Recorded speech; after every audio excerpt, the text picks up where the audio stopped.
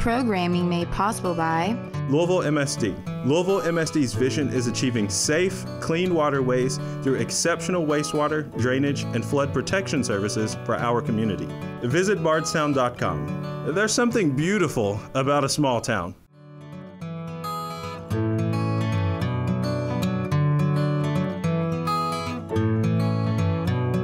Hello there. Welcome, Well, Kelley, Kyle.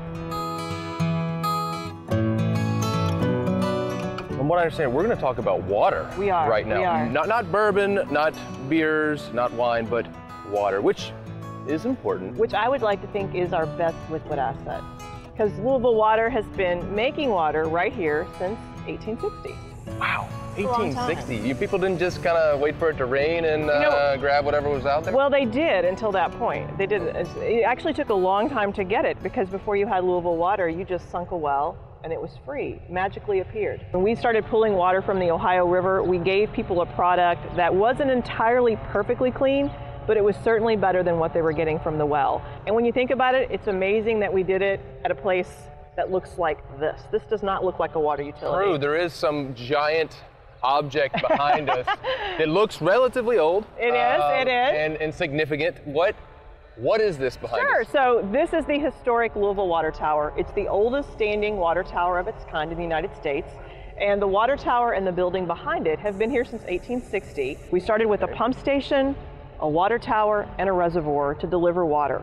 Um, today, these are National Historic Landmarks, and so they're really important to the city's history. This is pretty different. It is. Now we've seen those water towers, Florence Y'all, and you know those things, and they no look logo pretty on much. this one. Yeah, lo- totally different style than what It this is, thing it is. So this is not a traditional water tower. It doesn't hold water. Inside the tower is actually um, a pipe. And the only purpose for this tower was to make sure the steam engines that were inside the white building didn't implode as we were pulling water from the Ohio River. So it didn't store water. It was really a surge protector more than anything else. So the, the original water tower had statues on it. There was a tornado that came through here in 1890, snapped the water tower at the base. Everything was Snap this? snapped it at the base. Pictures are pretty That cool. is a big tornado. That is a big tornado. We lost all of the original statues except for two. We don't know what happened to those two. They're probably in someone's basement, I would guess. So we replaced the statues that you see today um, with nine Greek and Roman gods and goddesses and an Indian hunter and a dog. Um, the old annual reports tried to paint a very glowing picture of why we chose the Indian hunter and a dog. In essence, it's always a connection. Somebody knows somebody who has a connection.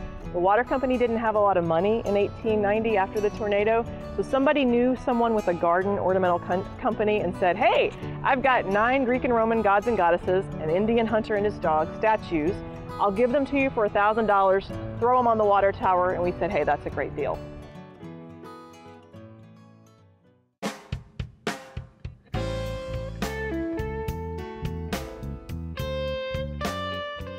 Wow. Okay. So what?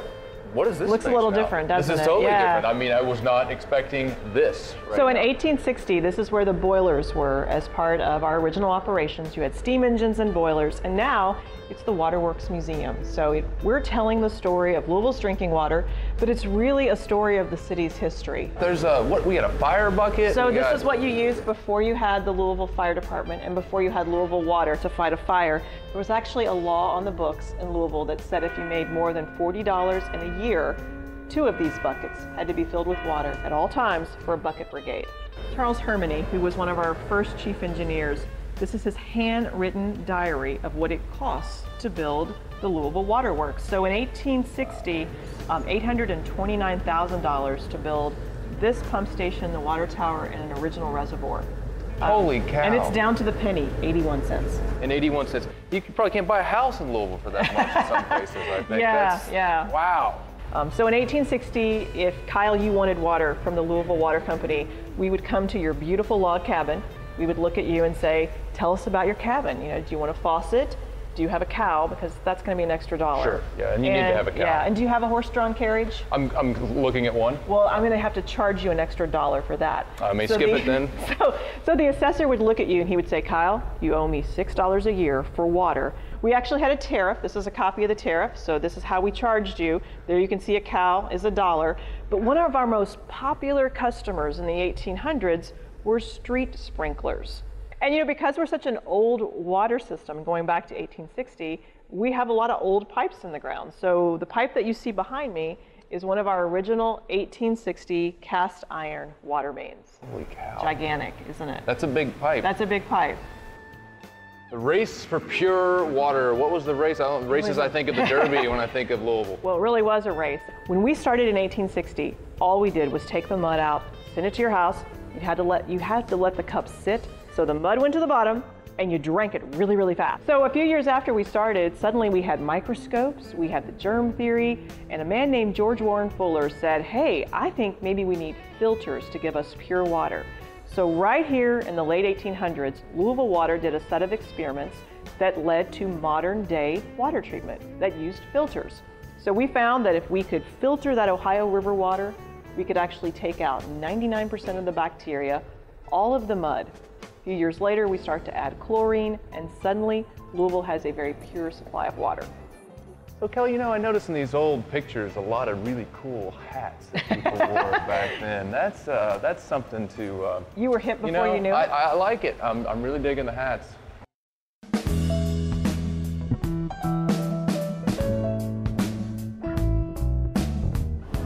Okay, so Kelley, we're inching closer and closer to the Ohio River. We are. So I'm looking, I don't see any pumps. Where's this pump thing that you're talking about? Why? You're actually standing on one.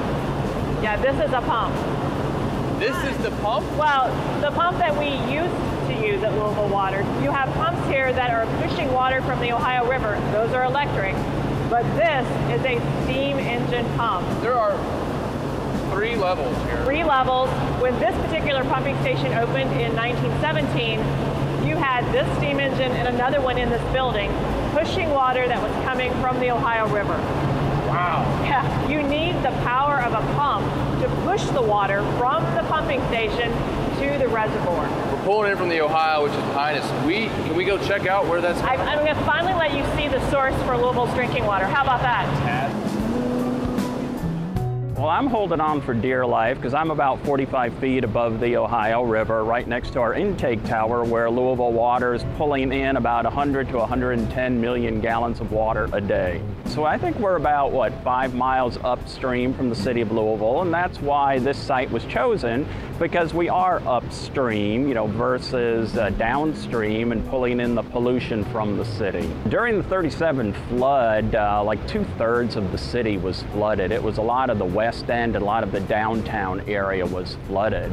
And uh, the people who were there had to evacuate their houses and move into the highlands. Back in 37, they were given the abandoned pumping station because with no electricity, no steam, there was no way to pump water, and the water was just about at the floor level of the pumping station, and it was still rising. Louisville had about six to 10 days worth of water left in the reservoir, and we went on a uh, two hour rationing, two hour a day rationing of water. And then uh, L.S. Vance, our chief engineer, came up with the idea of using a steamboat to work one of the steam pumps. They gathered the men at the Crescent Hill Reservoir, got down through the flooded streets of the city of Louisville, got a steamboat, the CC Slider, and a barge full of coal. They steamed up the flooded Ohio River, docked outside pump station number two, made the steam connection between the steam boiler of the steamboat to one of our steam pumps, and by 7 o'clock that night, we were able to get water into the Crescent Hill Reservoir, preventing Louisville from running out of water.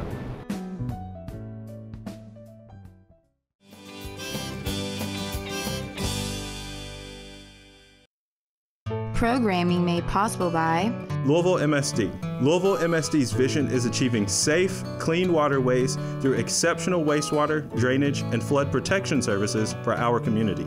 Visit bardstown.com. There's something beautiful about a small town.